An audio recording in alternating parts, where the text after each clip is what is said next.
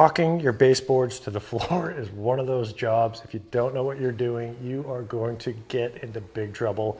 Let me show you an absolutely magical method to make this gap completely disappear. And the best part is you're not even gonna notice the caulking.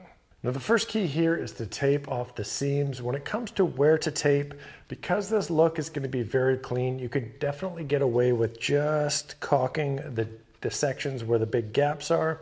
If you want it to look slightly better, you could do the entire wall where you have the gaps. You don't necessarily need to worry about doing the entire room because this is gonna blend together. You're not even gonna really notice it. When it comes to the type of tape, I would avoid using just a regular painter's tape, a little too sticky and more difficult to use. What I like to use is delicate surface tape. The purple stuff's gonna get the job done, but the best choice here is the one inch frogs tape. This stuff goes on surprisingly straight and the best thing here is it doesn't get any wrinkles in it when you're applying it. Now let me show you how to put this tape down. This can make a huge difference. With the floor side of the tape, you wanna get it within a millimeter or closer to the baseboard. You don't want to go underneath where the gap is, but you definitely don't want to go too far onto the floor and leave a big gap. And the nice thing about this delicate surfaces tape is you just start at one end and if you stuck it out too far, you can just peel it back up and then get your bearings and get right within that millimeter or less to the baseboard. And then when it comes to the baseboard, the same thing, you want to get it within a millimeter of the bottom without going past. Rip the tape off and then before you get to the caulking, just take your finger and run it along where the caulking is going to go and press both those tapes in nice and firm to the seam. You don't want any of that caulking to get underneath. Let's talk caulking. What you want to look for here is a nice interior latex caulking. What I recommend is DAP Dynaflex 230 or Big Stretch.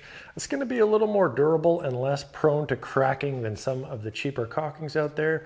And then the real magic here to make this look invisible is to try and find a caulking color that somewhat matches the color of your floor.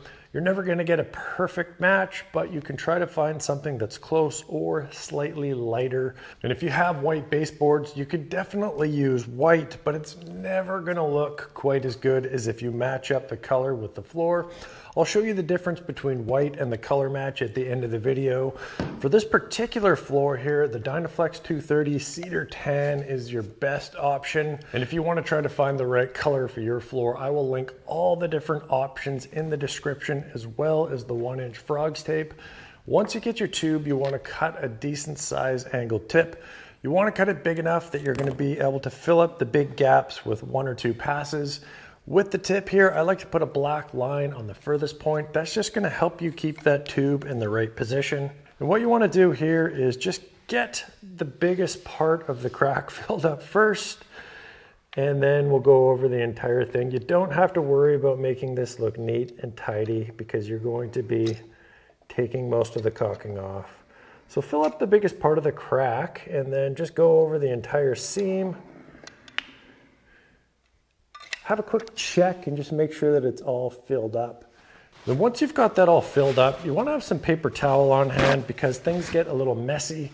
Just take your finger and clean off the caulking, caulking, I'll say.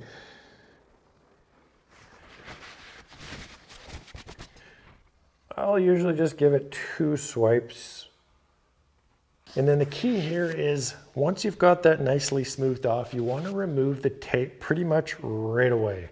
If you leave it for even say like 20 minutes and then you pull the tape off, the problem is depending on the caulking and the temperature of your home, it can start to dry and then it's just gonna rip off horribly.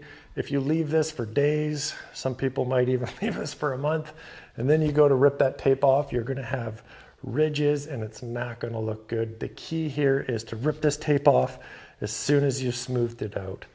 So we'll go ahead and show you that. It doesn't matter which way you start, just start with the top or the bottom. And just be careful that you don't smudge the caulking all over everything. You can do it on this floor piece if you pull it up along the baseboard. So you wanna just kind of pull this away from the board. It's the next day here. From four or five feet away, you can't see the gap. You can't notice the caulking. It is a thing of beauty. I also did a few spots in my home on a tile floor and some of the other wood areas. And then take a look at this example. You can see the difference between using the color match and the white caulking. It's not huge, but you can definitely notice the white caulking a little more. And hey, if you want to see how to do an expert job doing the caulking on the top of your baseboards, or door casings, go ahead and check out this video right over here. Beep, boop, boop, boop, boop. I watch all these YouTube shorts about these cool dance moves that people do, and uh, I'm like, that could be a new career, but uh, probably not.